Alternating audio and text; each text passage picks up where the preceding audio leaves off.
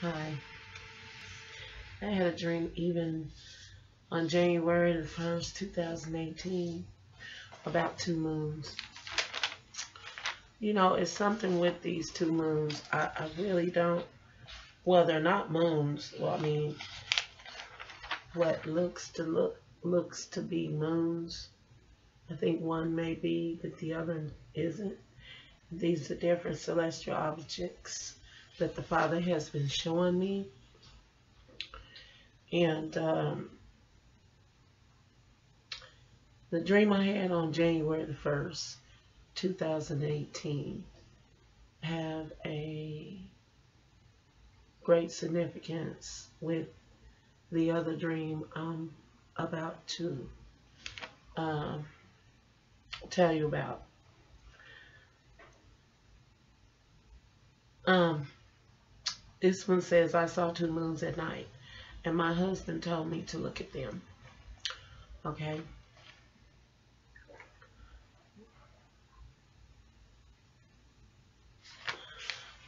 Now we know that the sun, the moon, and uh, the stars are all for signs and seasons and times that let us know where, where we are at in prophecy. Now, here's another one. January the 14th, 2018. And I called this one an urgent call for the lost.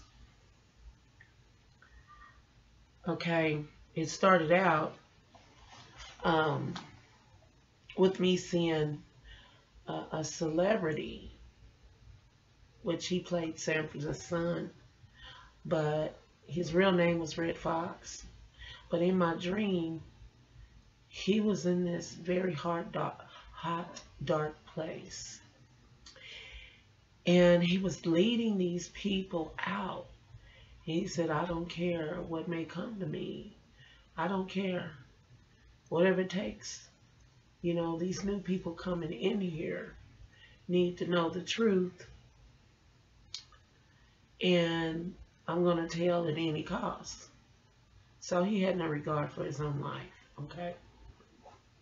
He didn't care. But see, um, the significant in that, I mean, you know, anybody would have said, oh, you just had a bad dream. No, or had a dream and they wouldn't have thought anything about it. But I know the way that my father speaks with me and what language each dream is different in the interpretation and its symbology.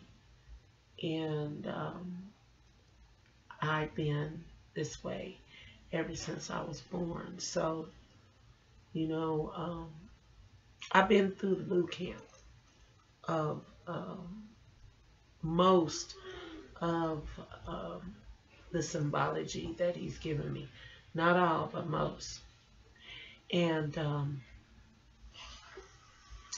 so I believe that Redd Foxx, him, the symbology of who he is, is he's a, he was a celebrity.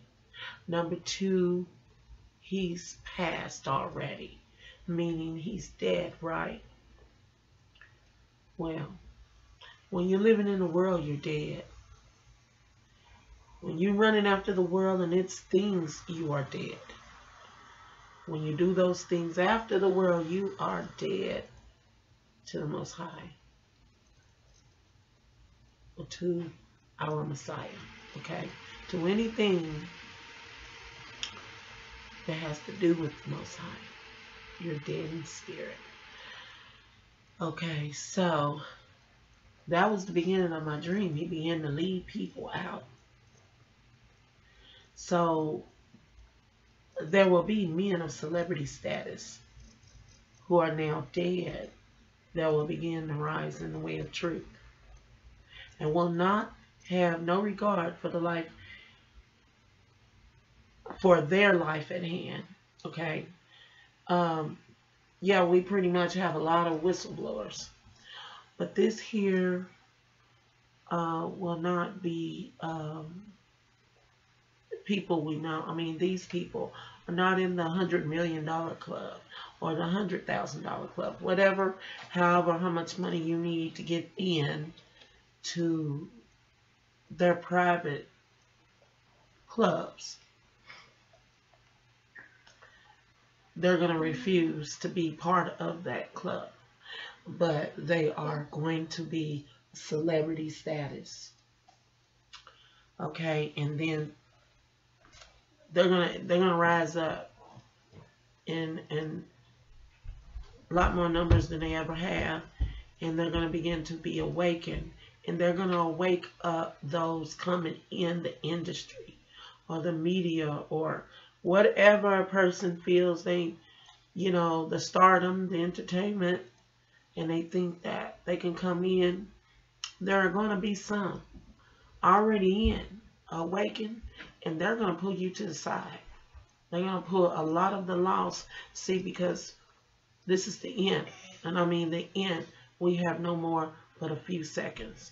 And they're going to start, you know, uh, the coming out in the way of the truth full force. Rising up, not having no regards for their own life, okay? Now, um, they're going to be exposing the wicked, and they're going to go really deep with it. The devices, the craftiness. Now, yeah, I mean, we, we got a whole lot on YouTube. We got a lot that surrounds the secrecy of all this stuff. But these people on the inside, and they're going to do, I mean, a lot like a, a John Todd type people, except they're going to be inside still, and they're going to be doing it uh, at, a, at a very high rate. And they're going to be trying to stop the loss from even coming in the industry. They're going to expose all their craftiness, all their tricks. They're against the Father's children, the Most High's children. Okay, they will lead many to the truth after being awakened and will help the lost avoid the pitfalls of this darkness while coming out of Babylon. So they can see how to come out and they will be the only light. Okay, so um, as I was seeing them come out, as Redd Foxx was leading these people out of this place that was very dark, and it just looks like a big old um, I don't know, some industrial place and it looked dark. Uh, I seen the fire, you know, you could see the, I mean, it was fiery red in there. It was really hot. And these people were running. Um, he was leading them as they were coming in. He was like, when he spotted them, he'd try to lead them down the path. And it'd be a little sneaky path he's taking them down uh, down stairways and around all kind of different, you know, uh, avenues, taking them straight back to the door they came in to hurry up and get out. And he's doing it in secrecy. So, um, these people are going to be in the world, but they're going to be sneaking. And they're going to lead many out that door back out that door. Because this place that they're coming in is very hot and very dark. I mean, just, it's hard for me to explain.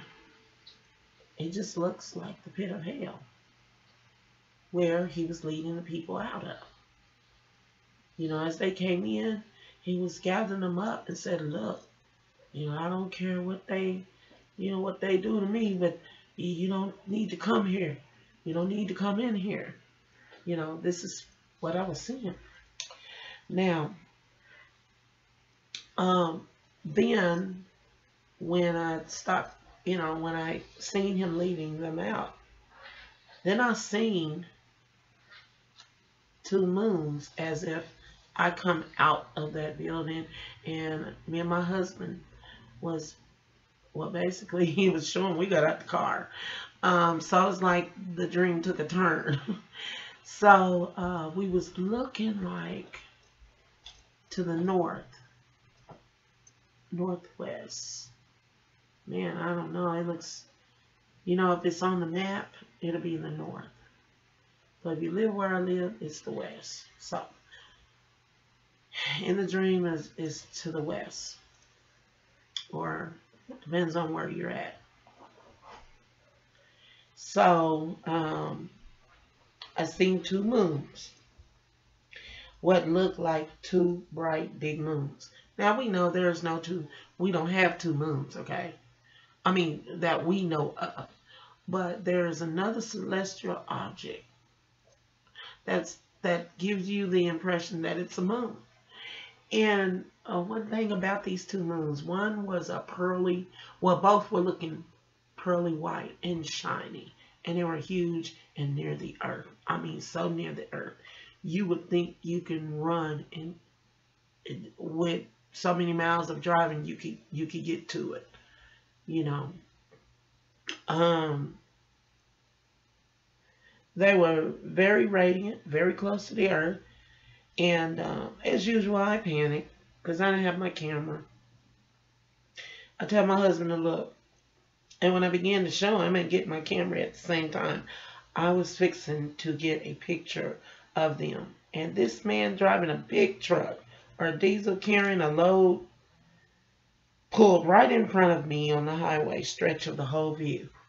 Oh yeah, I was very upset that he blocked everyone from seeing the view.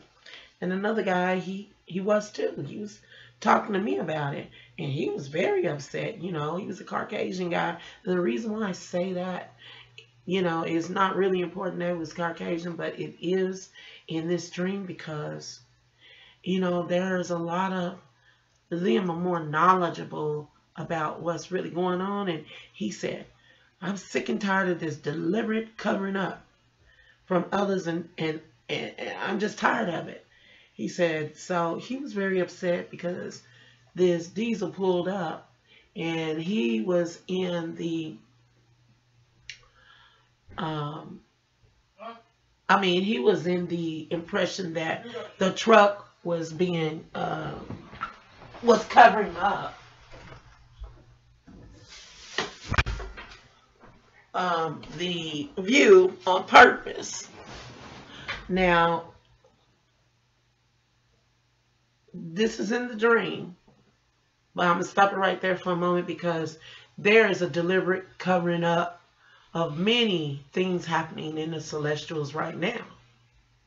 Okay, so that's something uh, very significant because he was talking about, you know, I'm tired of them covering up you know, the sky and covering up things and I can't see it. You know, we, we can't see it, but we have the deliberate covering up from others. And we deserve to see what is going on as well. So me and him was talking about it and people were amazed at the view and were also taking pics. And as I began to move closer and get around the man's rig, both pearly like moons begin to dissolve. Yes, my heart sank. It sank. I said, oh no, a picture of a lifetime. Then a few minutes later, they reappear like shiny pearls again. Okay, so, you know, the wicked has been hiding the signs of his coming in all circumstances. Don't be deceived. Pray that you are accounted worthy and that you are ready during that hour and time and season with repentance. You should be watching, okay? This is the time, this is the season, and it's the hour, excuse me, that you should be watching. You should be watching every, um, every sign um, I have some verses here, 2nd Esdras 9, 1 and 2. And it um it says here in 2nd Esdras 9, 1 and 2. Going there right now.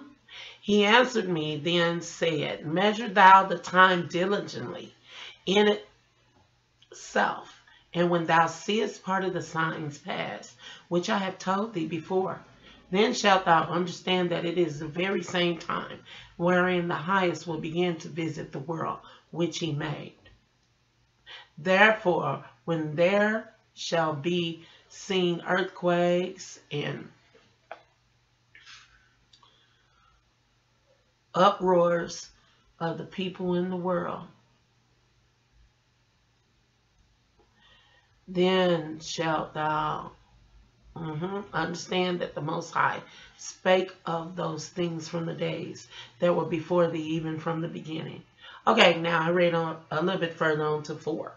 Okay, then the next one is Second Esdras thirteen thirty two, and then the next one is Second Esdras eight six and nine, and those are in the Apocrypha. Um, his dream um, tells you a lot if you are awakened. So um, take heed, be watching, praying that you are counted worthy. Okay, and have a blessed day. Shalom.